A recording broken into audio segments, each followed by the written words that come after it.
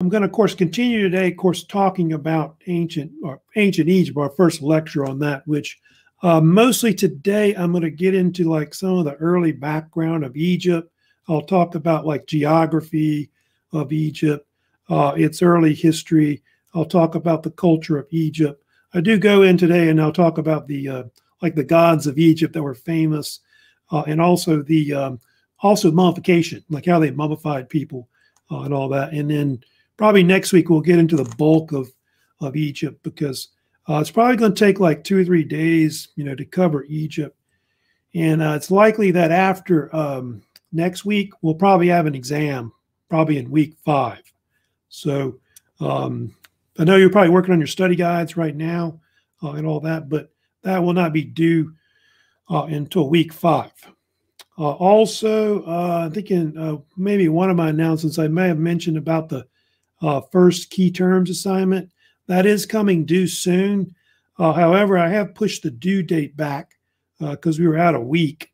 So the due date for that, it's the it says the 21st of September. If you go to the assignment, but if you want to start turning that in next week, you can go ahead and start sending it to me Monday coming up. just you can go ahead and just post it to the speed grader on Canvas, and I can grade them quickly. Uh, if you can't figure that out, you can, I guess, email it. Uh, and the study guides can also be uploaded to the speed grader as well. All right, so anyway, uh, of course, I'm going to get into, and I'm going to, of course, talk about uh, ancient Egypt today. Uh, and um, there, of course, is the PowerPoint slide, of course, on ancient Egypt. And uh, Egypt, of course, uh, is, as you know, uh, considered one of the four river valley civilizations that we've been talking about. I think we already talked about the other three uh, briefly before, and we've mostly just done Mesopotamia so far. Uh, we need to do, of course, India and China later. And um, for a long time, uh, Egypt was considered one of the oldest civilizations in the world. but since the 1800s, 19th century, uh, they figured out that it's the fourth oldest compared to the other ones.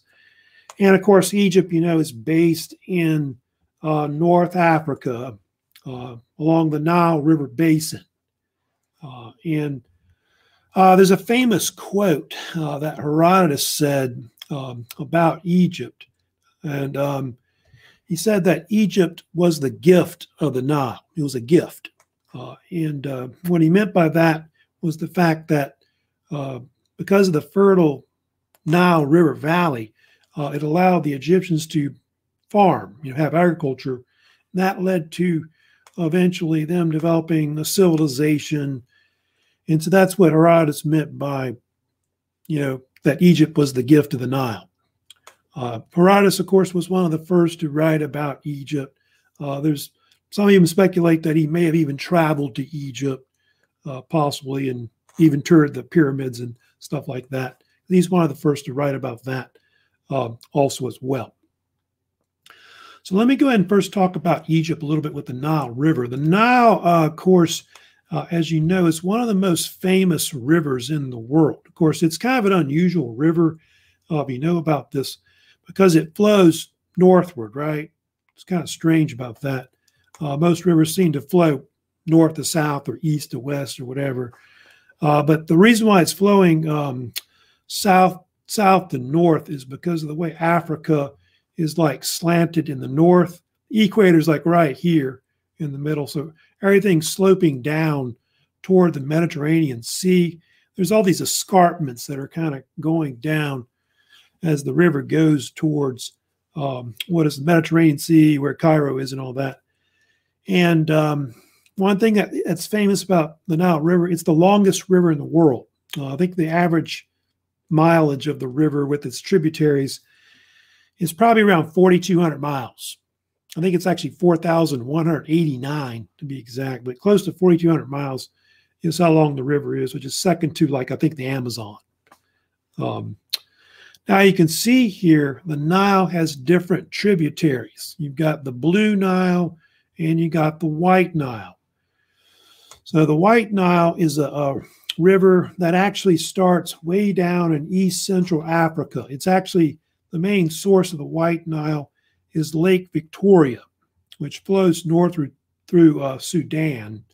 The Blue Nile uh, starts way over here, like in um, Ethiopia, which is about right there on that little map.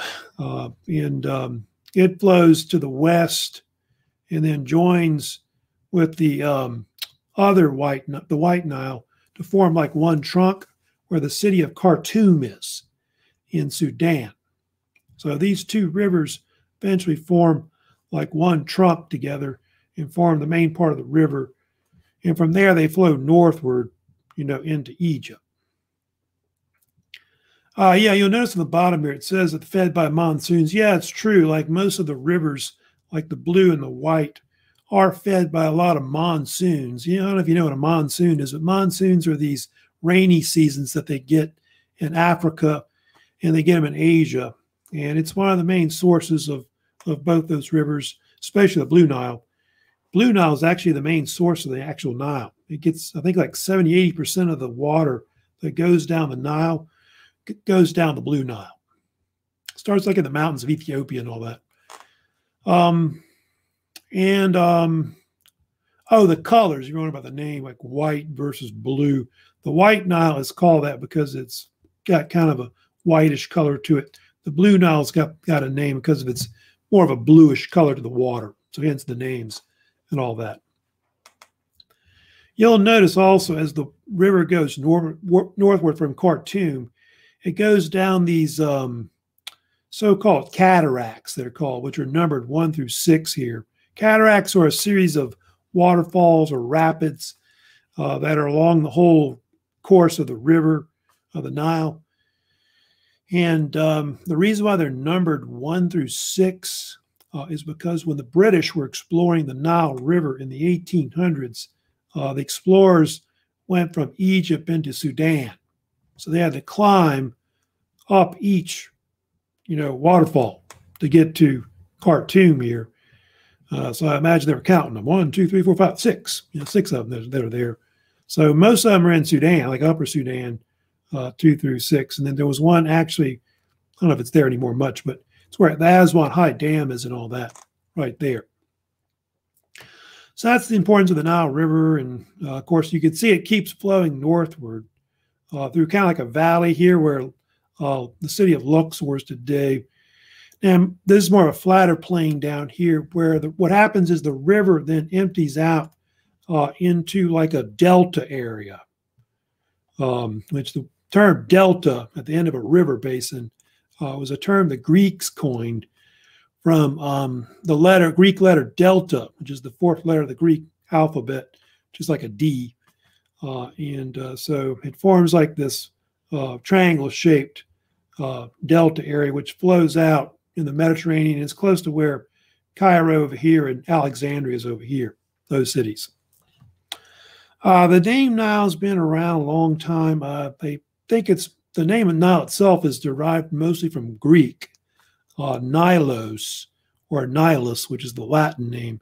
And Nilo, Nilos is supposedly a name that means um, river, basically, or some people say great river uh, as well.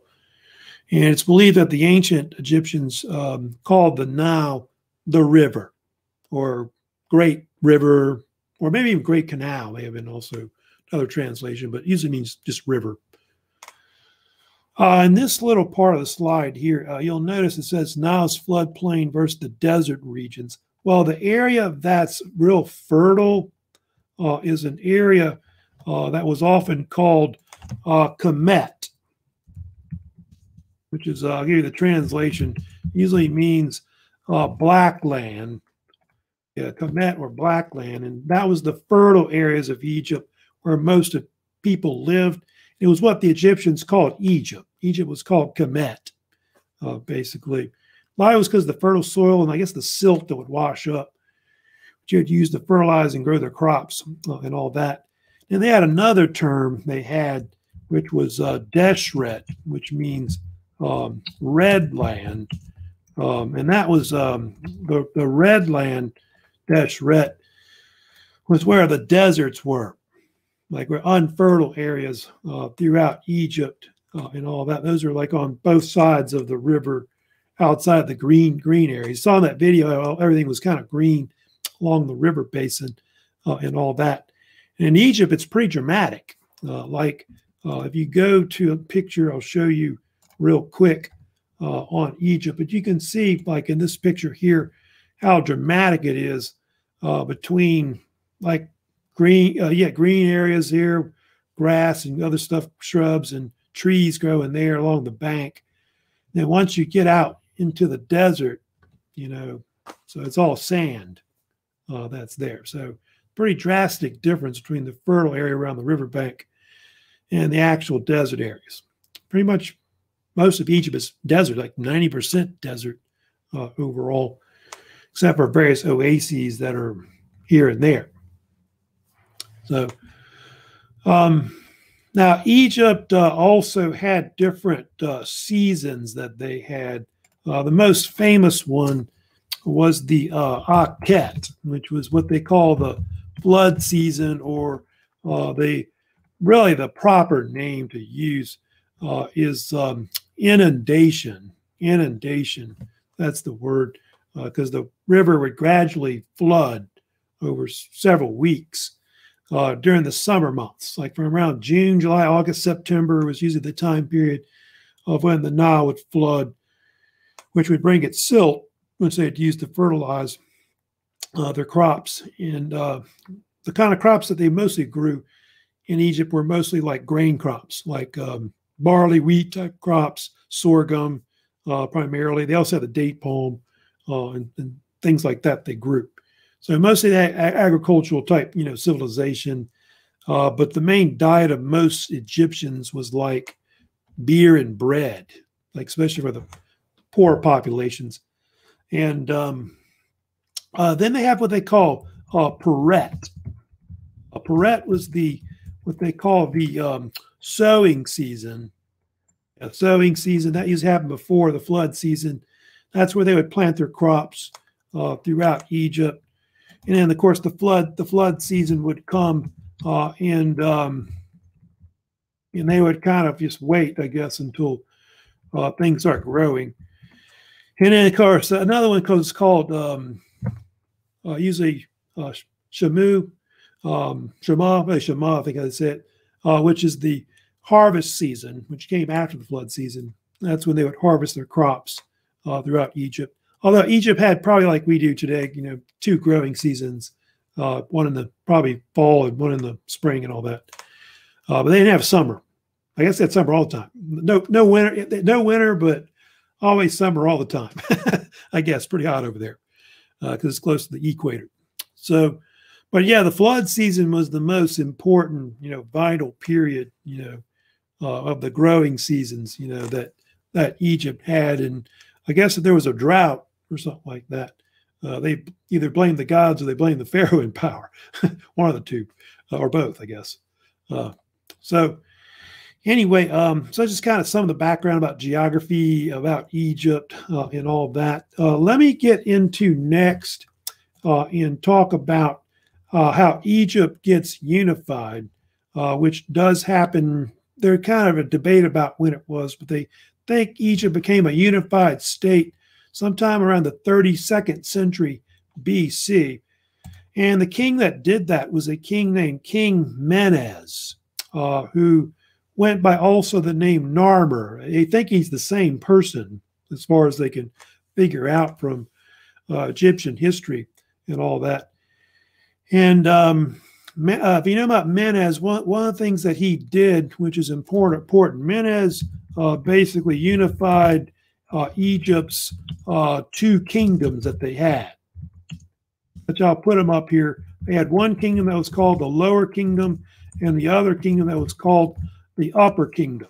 So these two states that they had. And it's kind of debated about how far back they go, maybe 33, 3400 BC, somewhere around that time. They may have existed uh, at one point. And um, you saw in the video how they divided up Egypt. Uh, if you saw that in the video, um, I'm sure you did.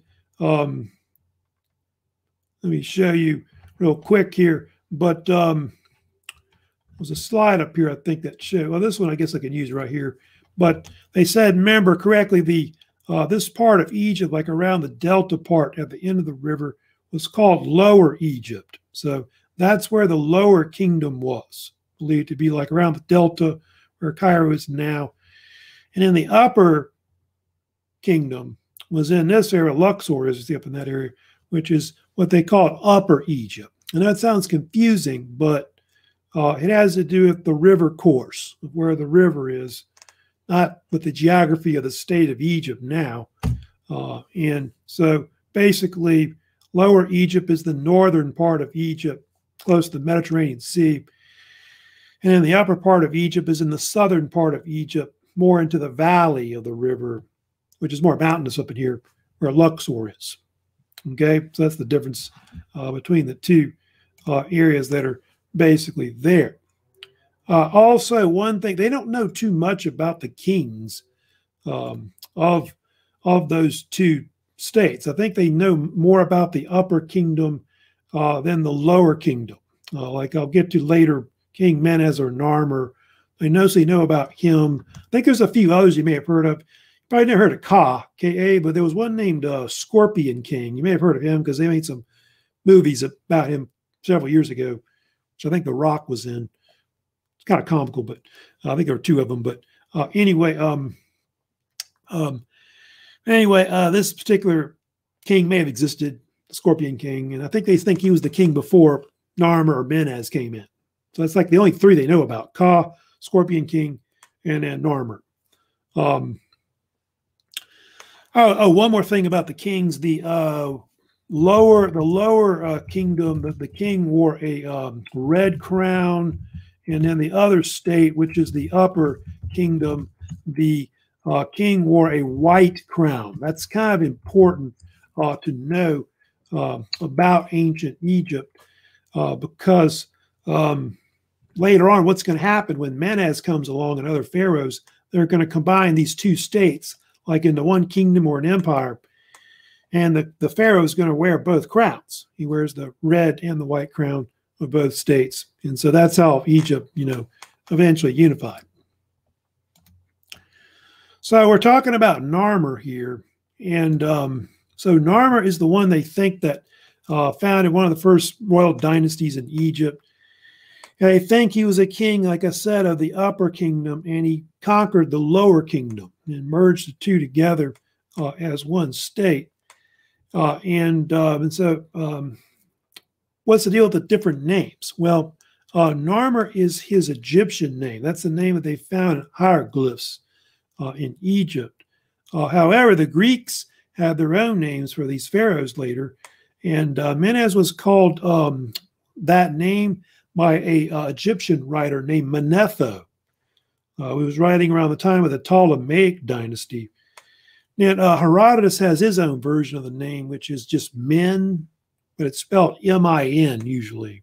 So Men. So it's either Men or Menes was the Greek name, but Menes is the more popular name uh, they called him now. Uh, Menes, besides unifying Egypt, was known for being the founder of the Egyptian city of Memphis, which was founded close to Cairo near the delta area of the Nile. And uh, Memphis uh, became a very important city for the Egyptians. It was like their administrative capital, where the pharaohs ruled from. Uh, the term pharaoh evolved over time for what they call the pharaoh's palace. It's called like Great House or something like that. So they call him a pharaoh later. And um, anyway, uh, Menes the one that kind of started the whole, know, unified kingdom, and you can see even developed some commercial trading um, throughout that region around Africa. Also, if you get up this slide too, does mention, yeah, he does adopt the new crown of Egypt, which I told you, red and white, you know, the two colors of Egypt. And uh, oh, by the way, uh, the crowns themselves were kind of famous uh, for having these symbols on them. Like on the lower kingdom's crown, they had a cobra. Like on the red one, a cobra. And then the other one, which is the lower kingdom's uh, crown, which was white, uh, was a vulture. It's become like you'll see it later on some of the crowns of the pharaohs. They have wear both of them. I guess they're kind of like mascots, you know, of each, you know, of those states. So And that was just the names that they called it. Like Sayent was, I think, the Greek name that they called the double crown, which was red and white. And then um, Sekhemti, I think how they say it, was the Egyptian name for it. So that's who Narmer was. Uh, they have found this thing uh, in Egypt around 1898 that's called the Narmer palette. I don't know if you have to know about much about that as much, but the Narmer palette was this cosmetic palette that was made of siltstone that was found by archaeologists in around 1898 in Egypt. And uh, it supposedly depicts King Narmer's reign uh, as a ruler. And it shows how he unified the state of Egypt. Uh, and um, I think on one side it shows him with the um, one crown, and he's got the other crown over here, I think is what it is. And um, says cosmetic palette. Uh, they think this palette was some kind of thing that was used to like paint statues um, or maybe mummies. I don't know. But uh, they would put like cosmetic paint or whatever on it and they would paint stuff with it. And so it somehow survived from over 5,000 years ago and supposedly has some of the oldest hieroglyphic type writing uh, in Egypt on it.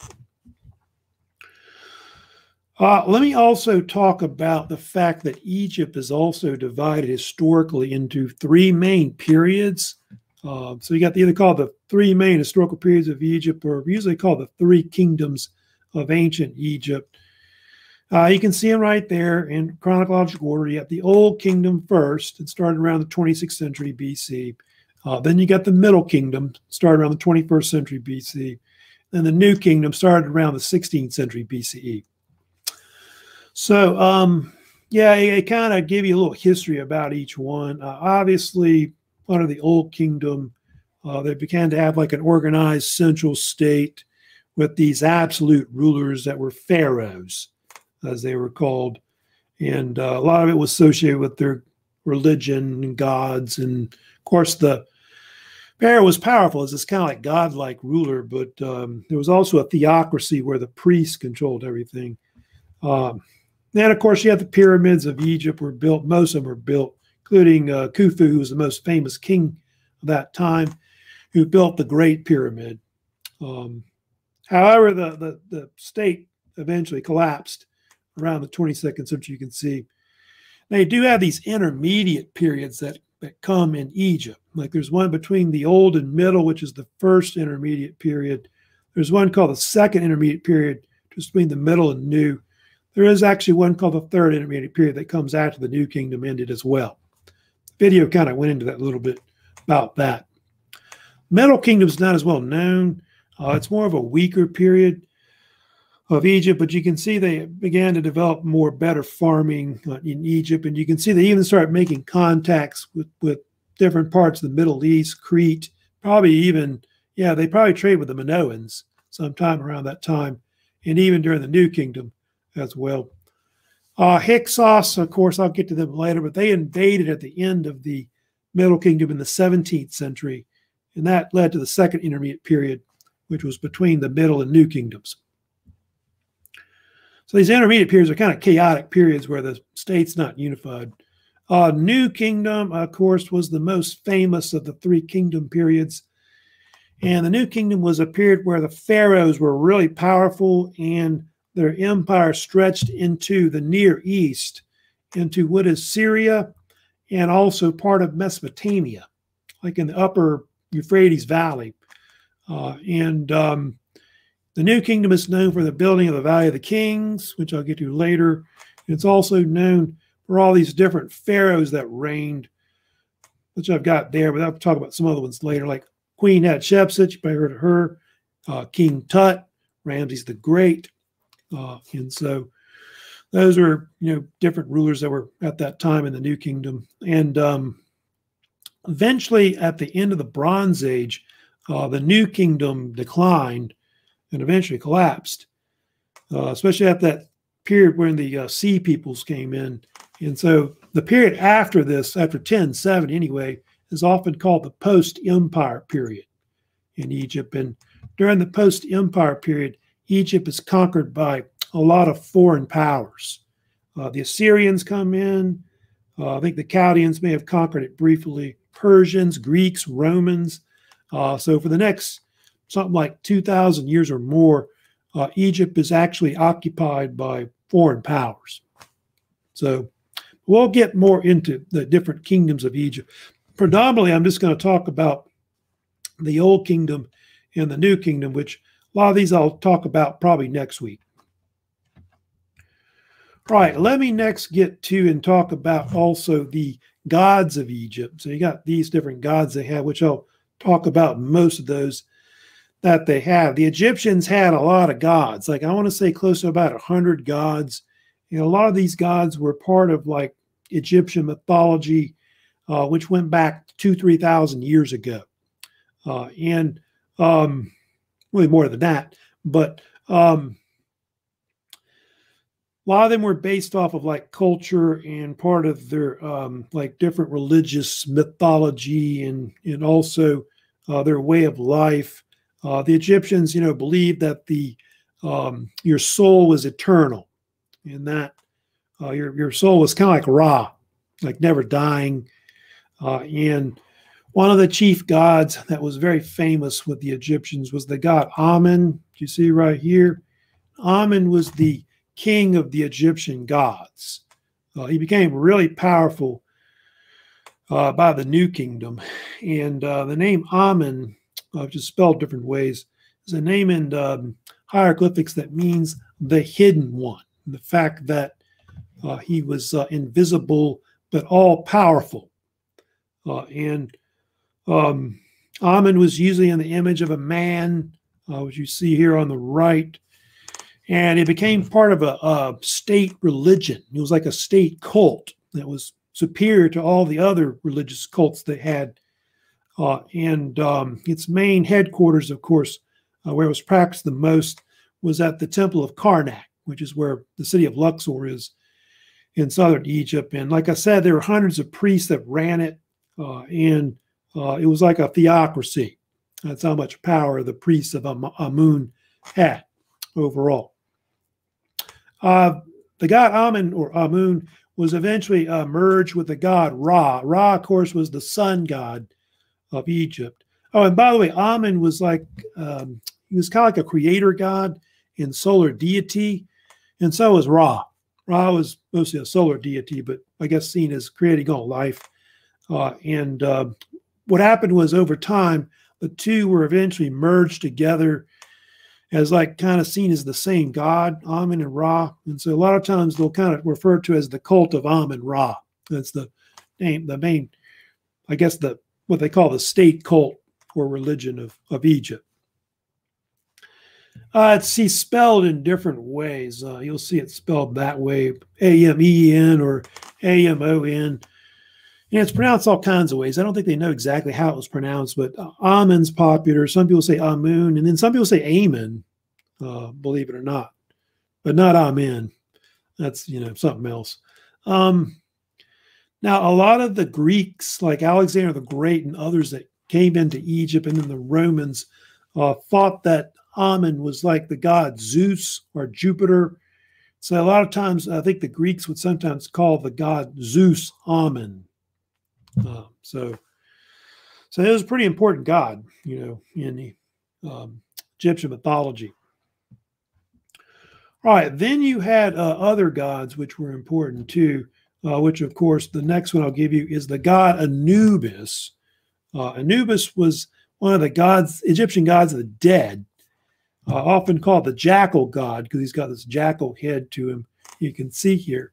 Anubis was the god associated with like embalming, what we call mummification, where they would, um, you know, bury people using embalming uh, practices, which now are called mummification. And um, Anubis was important because he was kind of seen as the uh, judge of the dead in the afterworld, like in the Egyptian afterlife.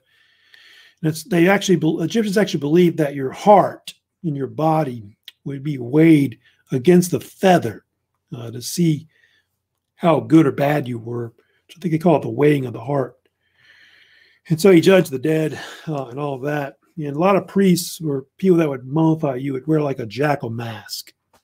So you can see here, Anubis is an example of one of several Egyptian gods that were anthropomorphic, like part animal, part man. Uh, here's a slide I, I, didn't. I think in the last class I didn't have it in there, but Horus, of course, of course, another god that's famous uh, in Egyptian mythology. Uh, Horus is the so-called falcon god. Uh, he was considered associated with the uh, what is the sky, like a sky god. He was also uh, the god of kingship. usually, the pharaoh, when he was on the throne, was kind of seen as the embodiment of that god. Because I told you, man, the pharaohs are kind of like living gods and all of that. And Horus, uh, in some mythologies, is the son of uh, two other gods, which are Osiris and Isis, who are married to each other, like a husband and wife. There's Horus when he's got his uh, that double-headed crown on there I told you about that's white and red. Uh, Isis, of course, uh, of course, um, is considered one of the greatest goddesses of ancient Egypt. She's sometimes associated with the same goddess, which is Hathor, which is similar. And um, that's her on the right. Uh, looks like giving um, eternal life to what is Queen Nefertari, uh, who was one of the wives of Ramses the Great. Isis was mostly known as the goddess of fertility, sex, marriage, and alcohol. That's good. Uh, and of course, love. You can throw that in there, but mostly a fertility goddess uh, as a whole. She, of course, is seen as the king's um, mother, because Horus is her son. And of course, she is the wife of Osiris. Uh, and uh, usually she's the image of a woman with cow horns on her head, which cow horns are kind of like a symbol of um, fertility. Uh, Osiris, of course, was her husband. Uh, and uh, Osiris was uh, the so called Egyptian king of the dead. He ruled over the Egyptian underworld or afterlife, kind of a fertility god, too, as well, you can see. But um, Osiris is kind of important because um, he's the reason why a lot of Egyptians wanted to be mummified. Uh, because in some myths, uh, if you know about the story about this, Osiris was um, he was killed by his brother Set, and his brother tried to take over Egypt, and uh, Horus banished him and seized control of the kingdom. That's why the the, the, the pharaohs are associated with Horus and not Set. Um, Isis supposedly mummified him, uh, put his, you know, all his body parts together and mummified him, and uh, she became the king of the dead. Uh, Set was supposedly the brother of Osiris. Uh, it was kind of seen as kind of being maybe kind of an evil god or bad god, uh, and it's mostly a god associated with several attributes: uh, chaos, god of chaos, uh, god of deserts, um, god of infertility, and he's also a, like a storm god. He's associated with storms, like desert storms and things like that. And um, I'm not sure what he is. He might be some kind of cat god uh, in that image, I think. But Set was, or Seth, um, was believed to have been maybe possibly a king of Egypt at one point and tried to overthrow his brother Osiris. But I told you Horus banished him uh, to the deserts of Egypt. Uh, there's also Thoth, of course, famous god, yeah, the bird god. You may have seen it before. He's like a white crane bird.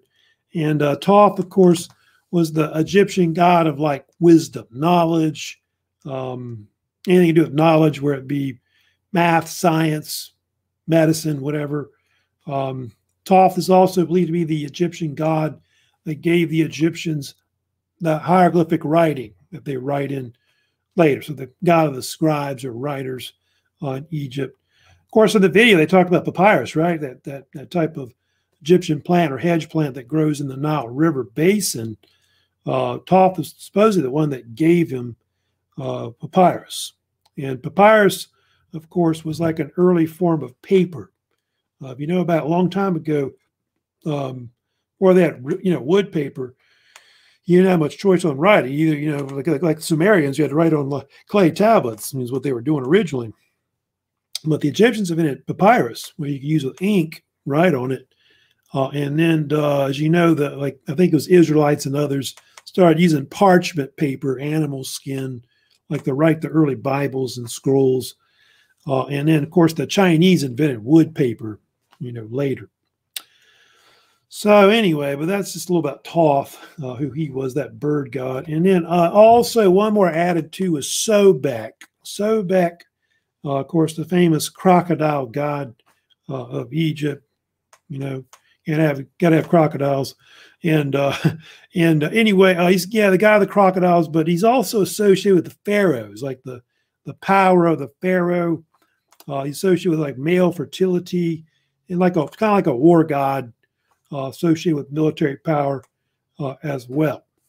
Uh, he did have a cult center at one point, uh, which was in Fayum, which is in kind of the western desert west of the Nile, in the, where there's an oasis there in western Egypt. Uh, and um, most of these gods had cult centers, you know, where, where the gods were practiced the most uh, as a whole. But that's just some of the most famous gods. I didn't go through all of them, but there's, I think they had at least a hundred of them that they had at one point. All right, yeah. One of the things I want to talk about lastly today, uh, of course, I'm going to, of course, get into, and I will talk about mummification for a few minutes. Uh, and of course, which is something real famous, you know, that the Egyptians, of course, are known for. And of course, that is, you know, preparing uh, the dead uh, for the afterlife. Um, of course, all kinds of names. They, the, the proper name, obviously, is the Egyptian funerary practices, but uh, because of like the Arabs a long time ago. Uh, the term that they started using eventually was the term mummification. Uh, and um, the origin of the word mummification or the word mummy uh, came from uh, what is this Arabic word here or term, which is mumia, just spelled different ways M U M M I A or M U M M I Y A. It's an Arabic term, and it's like the Arabic term for what they call tar pitch or asphalt. Uh, in I think the scientific name is sometimes called bitumen. It's kind of a black substance, as you see here, just made of different materials. Like I think it's got sulfur in it and petroleum type, you know, ingredients in it. And uh, they believe that this uh, material was used in the mummification process, like to cover the body and preserve it. So that's why sometimes mummies will have kind of a dark looking color to them, either brownish or blackish looking color. Uh, and um, over time, the term mummy stuck. And so people started calling it mummification, a mummy. When they see a corpse, they'd say mummy, you know, to it. And so that's where the name came about. Uh, the weird thing about it was they also had like the substance was used for other things like medicine. It sounds kind of crazy, but they took the outside of the mummy, uh, the mumia, they would ground it into like a powder, which they called it mumia or mummy powder, I believe as well.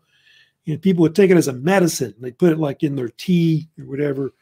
They thought it would make them live longer, you know, um, I guess vitality or whatever they called it.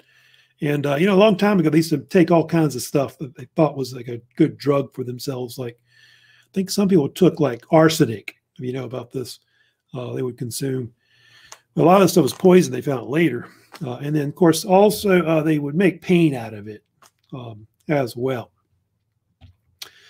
So uh, anyway, um, the process took a long time. It took about seventy days, more than two months, to actually embalm somebody, and of course make a mummy. And so they're actually specialized embalmers. They would have had shops that would do this Obviously, it wasn't free; cost money, uh, and so most people that could afford it were predominantly like upper middle classes. Uh, a lot of the lower classes, a lot of times that they did get mummified, it wasn't that good of a process, or they were just their body was mummified or just mummified by the desert. They put it underground, and that helped to preserve the body uh, as well. Uh, a lot of the people that that of course did it would wear these jackal masks of course, which represented the, the god of Anubis, which represented, you know, god of the dead that dealt with, you know, mummification in the afterlife. Uh, now, uh, what happened? One of the first things that they would do when they would mummify people was that they would remove all the organs. They would take those out of your body, uh, like your lungs, your stomach, intestines, liver, so on. And then uh, also they took out your brain. I don't know if you know this or not, but they would uh, actually take some kind of like they take this kind of hook thing here, and they would break your like uh, sinus cavity bone back up in here where your nose is right here, and they would rip your brains out. They would liquefy it, and they would pour it out your brain. Uh, and um, I think they didn't keep that part uh, for some reason.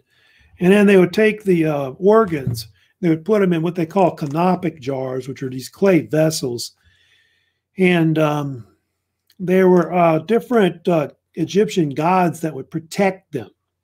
Uh, you can see here, those are the four Dalmatef, Kabesanef, Happy, and Mseti. Happy spelled different ways, usually without the two P's. I think it's usually like um, spelled like that. And um, it's pronounced, I think, happy or hoppy, one of the probably happy. And um, so each one will protect certain organs. So Damatef, which looks like a jackal, would protect the stomach. Kabesanef, uh, which looked like a falcon, would protect the intestines. Uh, happy, which looked like a baboon, would protect the lungs. And Imseti, which looks like a human, would protect the liver. Uh, Hapi was also the um, supposedly one of the Egyptian gods that was associated with the Nile flood like when the river flooded and all that. So they would put the organs in there, probably salt them down, uh, and then they would um, put them back in with your coffin. Now, one of the big things that would happen, uh, what they would do after that uh, was that they would then uh, fill the body cavities up uh, with different materials, uh, like I think linen. I think there's even other ideas that they put like uh, maybe the um, pit tar pitch in there, the Mamiya. I think uh, what is um, I think there was another theory that they put some kind of tree resin inside the body, which was called myrrh, M Y R R H, which is what Herodotus called it. And uh, but they had this other thing called natron, which was mineral salt. Um, they would cover uh, the entire corpse in it uh, which was really the most important stage, really, in mummification, was the use of the mineral salt. That helped to um, preserve the body and get rid of all the moisture. And they would do that for 40 days, that they would dry out the body with salt. Uh, and then after the body, um, after they finish with that with the body, uh, the, then the body would be prepared to be wrapped after that. And of course, that was the final stage, you know, that they did um, after that, uh, which was uh, they then wrapped the body, uh, which is it's believed that they would put that tar pitch or mamiya on the body, cover cover the body with it, and then they would start bandaging the person right there, the corpse, and then they would put keep put more on it, probably layers of it, and cover the whole body in it. Uh, then they would put like a death mask on your, or or they put some kind of painting of your face uh, on the head, uh, and then you might be put into a coffin uh, if you could afford one. So, so that was the whole process of of mummification. Yeah, they found thousands and thousands of mummies in Egypt. Uh, yeah, they can go visit. One of the river centers got one down downtown that's been there for years. Uh, the, the mummy um, actually, I've actually seen King Tut's mummy uh, years ago, uh, including his death mask. So it's pretty pretty neat, uh, and how they did this process and all this. But very few people got a gold death mask, you know, except probably the kings uh, and all that. So anyway, um, that's pretty much my lecture today um, on ancient Egypt. Uh, now, um, there's any questions uh, of course, about the lecture today. That's pretty much all I'm doing today uh, with Egypt. Uh, of course, next next week I'll be getting more into uh, talking about uh, the main part of Egypt. I'll talk, of course, mostly about the main kingdoms of Egypt, which are the old, the new kingdoms. Of course, on uh, Monday's class, I'll talk about the pyramids of Egypt, like the Great Pyramid that was built. And I guess I'll talk about how they were built. Um, I'll talk about the development of um, hieroglyphic writing. I'll get into the New Kingdom and the development of the Valley of the Kings. We'll get into all the pharaohs of Egypt. Um, if we have should have time, maybe do that a little bit. Uh, and um, so, uh, anyway, uh, if anybody has any questions, let me know. Uh, like, send me a comment right now or question if you have any. Uh, also, uh, don't forget that you can, of course, send me comments and questions at this lecture or the previous one that was this morning. You can ask questions about that one as well, which you do get bonus points for. So don't forget about that. Now, a few reminders before I go today. Um, now, you saw in the beginning of class, I did post uh, the um, two Canvas quiz, the two new ones up, uh, which, of course, you've got the Canvas quiz, of course, on Mesopotamia, the second quiz. Uh, and um, that one is due next uh, Wednesday, September the 16th. And then, of course, don't forget about the other Canvas quiz, which is the video quiz, uh, which is, of course, on the uh, little documentary I gave you to watch, which is called The uh, Seven Wonders of Ancient Egypt. So both those are due same time next Wednesday, uh, September 16th. Also, I had reminders too uh, tonight. Uh, don't forget, if you have not finished the Canvas quiz on prehistory, uh, please get that done. I've sent out numerous, you know, reminders about it. Uh, but get that done. It expires at midnight. Uh, and also next week, you can start turning in your vocab to me. Um, I'll probably put up the new one soon too next week.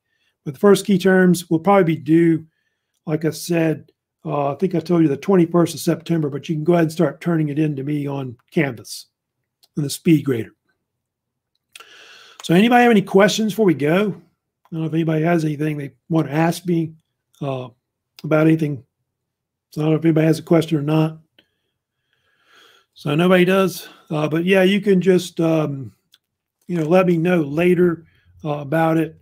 Uh, and um, I hope y'all have a good weekend. Uh, this is kind of a short week because we didn't have class Monday because of uh, the Labor Day holiday. But y'all have a good weekend coming up, and I'll see y'all, of course, uh, next week. So y'all take care and so I guess keep safe.